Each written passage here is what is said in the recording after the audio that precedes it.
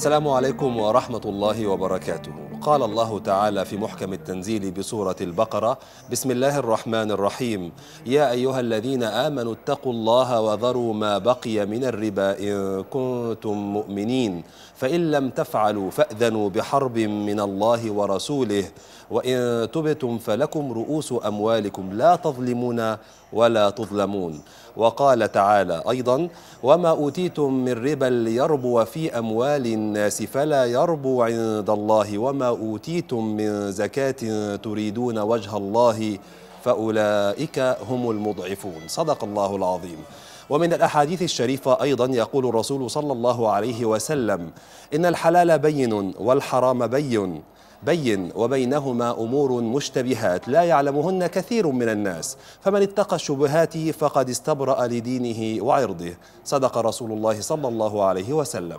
هذه النصوص وما ورد في معناها تبين لنا ضوابط قبول المال وأخذه والاستمتاع به وهذا مقيد بلا شك بقاعدة تحري الكسب الحلال الطيب وتجنب كذلك الحرام وما يشتبه فيه. نواصل اليوم مشاهدينا الكرام الحديث عن سبل تطهير وتنقية الأرباح المحققة من النسبة المحرمة مع فضيلة العلامة الدكتور علي القراداغي الأمين العام للاتحاد العالمي لعلماء المسلمين. فأهلا ومرحبا بكم. وذلك خلال لقاء يتجدد أسبوعيا ضمن تغطية البورصة ومن خلال فقه المال. كما نجيب عن تساؤلاتكم الفقهية والشرعية حول أهم النشاطات المالية والإقتصادية الاقتصادية مع الدكتور علي دكتور نبدأ باستكمال ما بدأناه في الحلقة صحيح. الماضية عن المشتبهات التي يختلط فيها الحلال والحرام طبعا صحيح. بينا.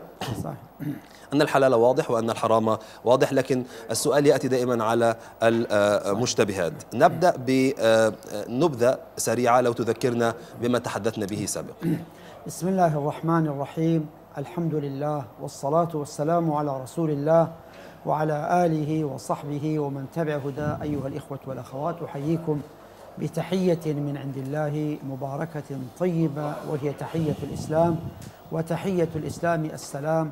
فسلام الله عليكم ورحمته وبركاته.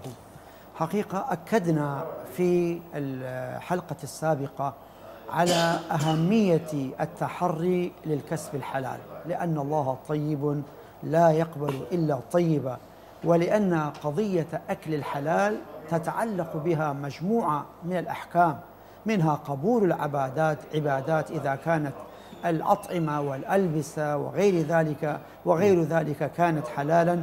وكذلك الأمر بالعكس لا سامح الله لن يستجاب الدعوة الدعاء ولا تستجاب العبادات.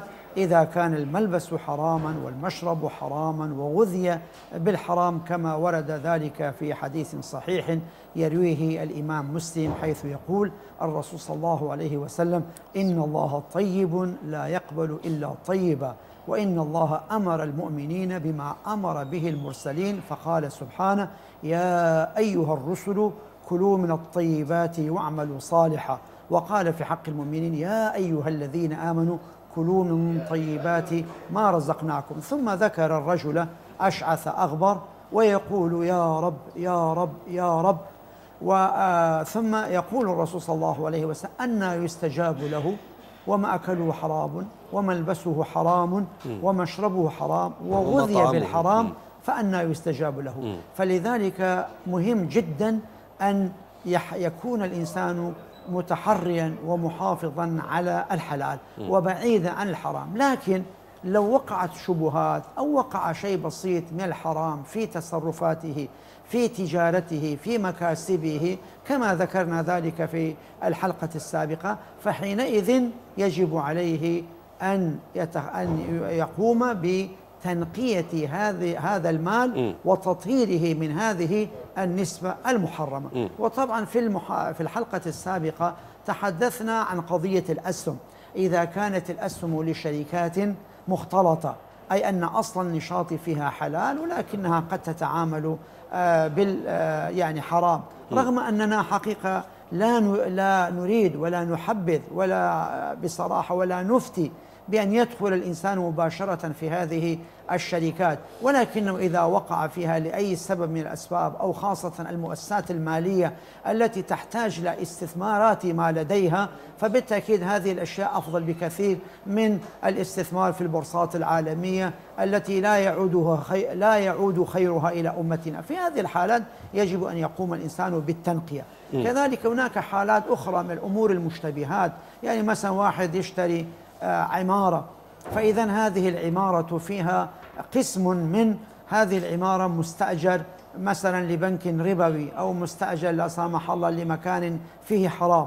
ففي هذه الحالة خاصة في الغرب العقد ملزم للطرفين. ففي هذه الحالة أيضا يجب عليه أن يتبرع وأن يتخلص من هذه الأجرة التي تأتي بنسبتها من المال الحرام. فإذا كانت العمارة مثلا آه، أجرتها مثلا مئة ألف ومقابل هذا النشاط الحرام سواء كان خمرا سواء كان خنزيرا سواء كان بنكا ربويا ألف ريال يجب عليه التخلص منه شهريا أو سنويا إلى أن ينتهي العقد. ولما ينتهي العقد لا يجوز له هو بنفسه أن يوقع على عقد محرم مع جهة وبالتالي فضيلة الدكتور بها محرمة وبالتالي نحن نتعامل الآن مع الواقع يعني نعم. آه، صحيح. عن حالات حدثت نعم. وتسأل عن كيفية صحيح. التعامل مع صحيح. هذا الواقع وليس لتأصيل لي أو ليس تشريع نعم. من ينتوي نعم. فعل ذلك صحيح. طيب آه، فيما يتعلق بالأرباح غير المشروعة من التجارة في سلع وخدمات ونحوها أو ونحوها مما تثار حولها شبهات نعم الاستثمارات والأرباح. نفس الشيء. إذا كانت هذا هو في الغالب تأتي من خلال الشركات المختلطة. فحينما يكون عندك الأسهم وجاءت الأرباح من هذه الشركات وهذه الأرباح يجب علينا أن ننظر إلى ميزانيتها وننظر إلى الإجمالي الإيراد ثم ننظر إلى نسبة المحرمة النسبة المحرمة. وحينئذ علينا ماذا نفعل؟ علينا أن نتخلص من هذه النسبة المحرمة بقدرها فلو مثلا كانت نسبة إجمالي الإيراد مئة ألف وكذلك ولكن نسبة المحرمات التي جاءت في هذه الشركة ألف ريال إذا معنى ذلك واحد بالمية لما تجيك الأرباح أرباح يعني التشغيلية فإنك تتخلص من واحد في المئة من الأرباح التشغيلية. أرباح التشغيلية. نحن جميعا م. تقريبا العلماء الذين أجازوا التعامل بهذا للحاجة أو للضرورة متفقون على ضرورة وعلى فرضية التخلص من هذه النسبة. م. أما في الأرباح الاستثمارية أن الإنسان باع هذه الأسهم وربح فيها هنا في خلاف. الذي أنا أميل من باب الأحوط أيضا يجب عليه أن يتخلص من هذه النسبة المحرمة حتى ولو كانت الأرباح جاءت عن طريق البيع والشراء والاستثمار وإن لم تكن جاءت عن طريق الأرباح التشغيلية. طيب هل هذه الحسبة سهلة لل... سهلة جدا جدا سهلة. وإذا استشكل عليه يمكن أن يرسل رسالة إلى هذا البرنامج العزيز ويرسل معه الميزانية وأنا أطلع له إن شاء الله طيب آه، آه، فوائد السندات وشهادات الاستثمار. أيضا آه، تكون ثابتة وهي محرمة ماذا يفعل بها؟ يعني السندات محرمة هذا لا تدخل في الشبهات تدخل. في المحرمات ماذا يفعل بها؟ فلا يجوز يعني هذه هذا التصرف اولا وإذا كان قد ورثها أو كان سابقا قبل التوبة قد تورط فيها فيجب عليه أن يبيعها وأن يتخلص من أرباحها. طيب يعني أو فوائدها. آه، ماذا يفعل بها في أي مصارف؟ آه، شرعا أموال التنقية وأموال المحرمات مصيرها إلى المصالح العامة، يعني يمكن آه، في أي مصلحة عامة يعني آه، التي تنفع الأمة وممكن تصرف أيضا في آه، مثلا الآن المستضعفون في سوريا وفي فلسطين وفي يمن هل تصح زكاة؟ لا هذا لا يجوز لأنه هذا محرم لا تدخل لا, لا زكاة ولا صدقة. لا صدقة لا, لا تعتبر صدقة ولا زكاة. وإنما تعتبر يجب هذا المال أن يتخلص منه الإنسان ولكن له أجر التخلص. له إيش؟ أجر التخلص. له أجر التخلص. طيب آه الإيرادات المكتسبة بسبب التهرب آه مثلا من الضرائب آه المالية. هذا أيضا نفس الشيء محرم شرعا ويجب التخلص منها وأن توجه إلى المصالح العامة. طيب آه، آه، يعني أحد الأشخاص آه، يتقاضى اجرا نظير ترجمة غير شرعية مثلا. يعني إذا يقوم كانت الترجمة ل- يعني كيف غير شرعية؟ ترجمة؟ يعني يقوم بترجمة مثلا كتب أو عقود لشركات مالية بها بها فوائد وما إلى ذلك محرمة أو عقود خمور أو ما إلى إذا ذلك. كان إذا كان فعلا الأصل العقد هو عقد قرض بفائدة فإن هذه الترجمة يعني قد تكون محرمة لكن إذا كانت العقود لم تكن خاصة بقضية الإقراض والاقتراض إنما كانت عقود تنظم العلاقات أو ما شيء من ذلك آه، أو آه، يعني تكون عقودا إدارية ليس فيها يعني شيء محرم فهذا لا تكون الترجمة محرمة. وإنما الإثم يكون على من ينفذ هذه العقود. لكن إذا كان العقد نفسه عقدا ربويا فطبعا هذا لا يجوز. يعني لا يجوز للشخص أن أن يدخل في مجال حتى فقط بمجرد التعاون. وتعاونوا على البر والتقوى ولا تعاونوا على الإثم والعدوان. وبما أن الربا والقروض بفائدة إثم فلا يجوز التعاون لتنفيذ هذه العملية بأي شكل من الأشكال. حتى لو أن هذا العمل ضروري بالنسبة له لو كان في آه، أوروبا أو أمريكا يعمل. أمر آخر إذا كان هو يشتغل في في مكان ولي ولا يجد وظيفة أخرى مناسبة فهنا حقيقة من باب الضرورات أو من باب الحفاظ على وظيفته فهنا يجوز. وفي هذه الحالة يعني أيضا يتقي الله كما رب العالمين يقول فاتقوا الله ما استطعتم بقدر الاستطاعة. ونحن حقيقة فتاوانا في هذه الحالة إذا كان لم يجد مكانا آخر يجوز له أن يبقى مع سعيه لعمل آخر لا يكون فيها هذه الشبهات. طيب نذكركم مشاهدينا الكرام بأننا نبث هذه الحلقة على الهواء مباشرة على صفحة الجزيرة مباشرة على فيسبوك وننتظر التعليقات والأسئلة الموجهة لفضيلة الدكتور علي القرضاغي. وسؤال أيضا دكتور استكمالا لموضوع الترجمة والعمل. طيب أجر المساعدة بتنفيذ مشاريع تخرج الطلاب يعني هناك من يذهب لأحد المخضرمين الذين لديهم خبرة كبيرة في مجال البحث ويدفع له مالا من أجل أن يقدم له البحث يعني مكتملا. ما حكم ذلك؟ طبعا شرعا هذه البحوث التي يكتبها الآخرون للطالب في دراسات الأولية في الكلية أو في ماجستير أو في دكتوراه هذا غش. مم. والرسول صلى الله عليه وسلم قال ليس منا من غشنا. وفي رواية ليس منا من غش. فالغ... فالغاش حقيقة لا يدخل تحت رحمة هذا هذا الدين ولا تحت شفاعة رسول الله صلى الله عليه وسلم. فلذلك يجب على الإخوة أن أن أن يحافظوا ويجب على الطلبة أن مهما كانوا أن يكتبوا بأنفسهم ولا يستعينوا بأي شخص لأن هذا الغش محرم بالاتفاق ولأن هذا الأجر الذي يحصل عليه الباحث ويكتب لشخص آخر فإن هذا الأجر سحت وحرام بل أيضا ليس حراما عاديا الحرام مرتين. حرام أنه عمل محرم الحرام الثاني أنه يساعد شخصا على أن يأخذ شهادة وهو ليس أهلا لذلك وبالتالي اكتسب إثمين اسم المال الحرام واكتسب كذلك إثم شهادة الزور وهذه تدخل ضمن شهادة الزور. أشكرك حتى الآن الدكتور علي القرضاغي مشاهدينا الكرام فاصل قصير. بعده نستعرض التعليقات والأسئلة التي آه، وجدناها الآن على تغطية البورصة عفوا تغطية فقه المال على الجزيرة مباشر. بعد الفاصل مباشرة نستعرضها.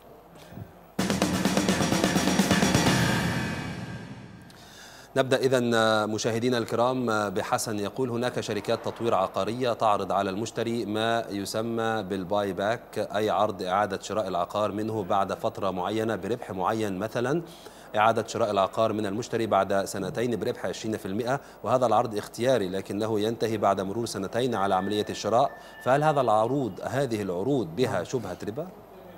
هذه إذا تمت حسب يعني الخطوات العملية لما سميناها بما يسمى الإجارة المنتهية بالتمليك فلا مانع منها كيف؟ يعني مثلا حضرتك عندك عقار أنا اشتريت منك العقار بمبلغ مثلا مئة ألف دولار مم. ثم بعد ذلك أجرت لك وليس إعادة الشراء أجرت لك شهريا بمبلغ كذا لمدة سنتين ثلاث سنوات أربع سنوات عشر سنوات ثم بعد سنتين أو عشر سنوات بعت لك يعني العقار بالمبلغ المتفق عليه أو بالمبلغ المتبقي أو وهبت لك إذا كانت الفترة الزمنية طويلة ما بقى عليك شيء وهبت لك العقار هبة أو بيعا بثمن حقيقي أو بثمن رمزي. فهذه الصور الثلاث جائزة ما دام تم بضوابطها وهو أنه فعلا يتم الشخص الممول يشتري العقار ويسجل باسمه ويتحمل مسؤولية التلف ومسؤولية الصيانة الذاتية والتأمين. أما إذا لم يتحمل وإنما كان العقد صوريا فهو حرام. نذهب إلى تعليق آخر. أنيس يقول كيف نحكم على معاملات بنكية شرعية ضمن بنك إسلامي ولكن هذا البنك جزء من منظومة بنكية غير شرعية يتحكم فيها البنك المركزي الوطني. نعم وبالتأكيد هذه يسمى فروع البنوك الإسلامية أو ويندو أو شب شباك. إذا توافرت الشروط المطلوبة في هذا الفرع أو في هذا الشباك وهو أن تكون العقود صحيحة أن يكون هناك نوع من الاستقلالية لهذا الفرع وأن لا يكون هناك اختلاط بين هذا الفرع وبين الفرع الرئيسي الربوي وكذلك أن يكون لها هيئة رقابة شرعية وتدقيق شرعي آه، هيئة شرعية محترمة حينئذ يجوز التعامل معها وإن كان بالتأكيد الأفضل التعامل مع يعني البنوك الأصلية يكون أفضل لكنه شرعا يجوز إذا توافرت هذه الشروط وأن يكون الشرط الخامس أن يكون البنك المركزي قد وافق على إنشاء هذا البنك إنشاء هذا الفرع. لأنه إذا لم يوافق فحينئذ لا يستطيع البنك أن يقوم بتنفيذ وتطبيق الشروط الشرعية المطلوبة في قضية العقود طيب والمعاملات هناك يعني من يشكك أصلا في بعض البلدان العربية بأنه آه، هناك آه، بنوك إسلامية صحيحة. يعني من مجرد فقط تشكيك وليس مبني هذا الرأي على أسس أو أو قواعد. يعني لا يجوز شرعا. لا أولا الأصل في هذه البنوك ما دامت إسلامية وما دام لها هيئة الرقابة الشرعية الأصل أن تكون بنوك إسلامية وتتحمل هي المسؤولية. الفروع. هم يتحمل. والأمر الآخر لماذا أخي الكريم لو ما كان الشخص يريد الإسلام يمكن أن يفتح بنكا ربويا وبنك الربوي قد يأتي له ربما وليس مقيدا لا بهيئة الرقابة الشرعية ولا بالتدقيق الشرعي ولا بالبنك المركزي في ضوابطه الخاصة آه، بالشريعة. وبالتالي لما يكون الشخص بالمناسبة يفتح بنكا إسلاميا يكون أكثر تقييدا مما يفتح بنكا تقليديا. فلذلك أنا أعتقد لاستقطاب فئة معينة لا تريد أن تذهب إلى البنك التقليدي دكتور. حتى بالمناسبة يعني كانوا يقولون إن هؤلاء غير إن غير المسلمين خاصة من بريطانيا وفرنسا يريدون أخذ أموالنا عن طريق البنوك هذا غير صحيح. أنا أعلم علم اليقين بأن بريطانيا فيها حوالي سبعة بنوك وفروع إسلامية وتستثمر عشرات المليارات من الاستثمارات ومعظم هذه الاستثمارات لم تأتي من البنوك الإسلامية ولا من العالم الإسلامي وإنما من الموجودين داخل آه، يعني أوروبا وبريطانيا أو حتى من غير المسلمين م. فالقضية لا بد أن لا أننا إن جاءكم فاسق بنبأ فتبينوا طيب. وفي قراءة فتثبتوا عادل عسيري يسأل هل شراء منزل بالدين حرام شرعا؟ لا إذا كان توافرت الشروط ليس الدين ليس ما دام الرجل قادرا على أداء الديون يجوز أن تشتري مرابحة أو سلما هذه السلم وارد في القرآن الكريم وفي السنة النبوية الصحيحة وكذلك بيع بالدين أيضا جائز يعني كيف السلم؟ فالسلم هو حينما يكون شيء موصوفا في الذمة يعني أنا أقول لك أبيع لك 20 طن من تمر الإخلاص مواصفات كذا وكذا تسليم آه، واحد 11 2019 أو 2020 مثلا بعد سنة بعد الشهر بعد الشهرين حسب المواصفات المطلوبة. وطبعا هذا يسمون عقد السنة. طيب آه، نعود إلى الأسئلة التي وردتنا. آه، عياد أو إياد مصطفى أنا اشتريت منتج من موقع إلكتروني ولم أستلم المنتج. رفعت شكوى ضد البائع وقام الموقع الخاص بالبيع بإعادة الأموال آه، التي قمت بدفعها لي. وبعد فترة وصل المنتج الذي اشتريته. هل أرجع نعم. المال للبائع أم لا؟ نعم يجب عليه أن يرجع المال وإلا يكون حراما ما حكم المساهمات المالية التي يجمعها الموظفون فيما بينهم؟ إذا كانت هذه المساهمات كما هو المعروف دورية يعني مثلا إحنا عشرة أشخاص كل شهر كل شخص يدفع في كل شهر ألف م. تمام اليوم حضرتك تأخذ الشهر الأول بالقرعة لك تأخذ عشرة آلاف يوم الثاني شهر الثاني أنا أخذ يوم الثالث زيد وهكذا ما في أي إشكال. لا هناك مساهمات لمن يمرض يعني لمن يحدث له إيه آه، إذا كان هذا هذا شيء طيب هذا لكن غالبا يقصدون بهذه المساهمات أنهم يساعدوا بعضهم البعض. الجمعيات تقصد. جمعيات لا هناك أيضا نوع آخر من المساهمات بأن يعني يخصص هذا الصندوق لمن يحتاج إليه ممتاز. بالمساعده هذا, هذا حتى انه تكافلي. هذا آه. صندوق تكافلي. حتى هذا لو- يسمون التأمين التكافلي البسيط. حتى في الفقه. أنا يعني تأمين التكافلي إحنا مجموعة من أصحاب المهن. أنتم الآن في الجزيرة مثلا أو في فرع من الفروع تعملوا لأنفسكم صندوقا وكل واحد يدفع فيه ثم بعد ذلك يؤخذ منه. فهذا هو التأمين التكافلي المشروع.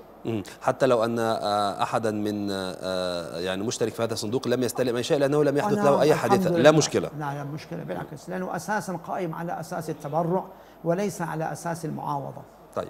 آه، حليم آه، آه، يسأل. السلام وله عليكم. مثيل حتى في السنة يسمونه التناهد أو النهد. نعم.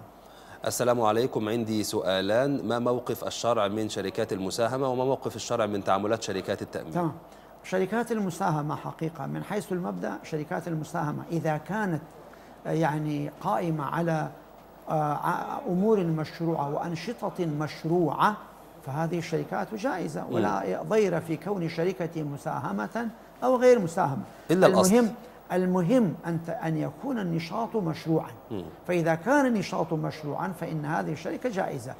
آه، السؤال الثاني كان كيف كانت؟ آه، والسؤال الثاني آه، شركات التأمين. آه شركات التأمين نوعان. تأمين تكافلي جائزة وتأمين آه تجاري فهذا صدرت بمنعها وحرمتها قرارات من المجامع الفقهية بأن التأمين التجاري القائم على المعاوضة آه تأمينات غير جائزة وغير مشروعة.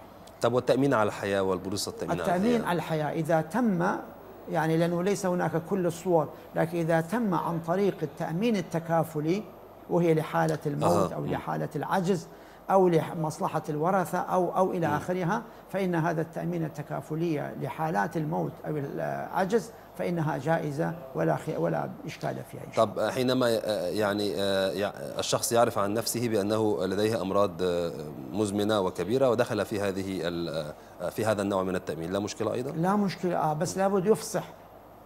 لا يعني لابد يبين. لا يجوز شرعا أن يخفي. لأنه لابد وكذا يعني مسائل العمر والأمراض هم يسألون هل عندك أمراض؟ هل عندك هل صار عملت عملية قبل ولا ولا؟ فيجب أن يكون صريحا وواضحا ولا يكذب. فإذا كذب أو غش أو احتال فإنما يأخذه حرام طيب. لأن ما يبنى على الباطل فهو باطل ربما يفهم يعني التأمين على في حالة العجز التام أو العجز ال- أو الجزئي بأن نعم. هناك مساعدة كصندوق تكافلي آه، أو تأمين تكافلي نعم. لكن آه، يعني كيف يأخذ ال- الفرد اموالا عند موته يعني هل هذا هل. هذا يجوز؟ ألا عند الورثة طبعا يعني في حالة الموت الميت لا يأخذ شيئا بالتأكيد لا، يعني أقصد طبعاً الورثة. إنما الورثة الورثة يأخذون مثلا وليس بالضرورة أن يكون شيئا بسيطا يمكن أحد شخص يعني يعمل تأمين تكافلي في حالة الموت على مليون ريال. وطبعا يدفع الأقساط. جائز؟ جائز ما في مانع. على اعتبار أن. الموت الموت محقق محقق, محقق، لكن محقق. المرض يعني المرض ربما آه نعم ربما لا. وبعدين إحنا رضينا نحن أهل الصندوق رضينا بأنه إذا أنت دفعت وتبرعت بهذا المبلغ نحن نكفل ونعطي لورثتك مبلغ مليون ريال عند الموت مثلا. أشكرك الدكتور علي القرداغي الأمين العام للاتحاد العالمي للعلماء المسلمين على هذه المعلومات والإفادات. أشكرك شكرا جزيلا والشكر موصول لحضراتكم مشاهدينا الكرام لحسن المتابعة. كل خميس يتجدد اللقاء عبر شاشة الجزيرة مباشر في فقه المال. السلام عليكم ورحمة الله.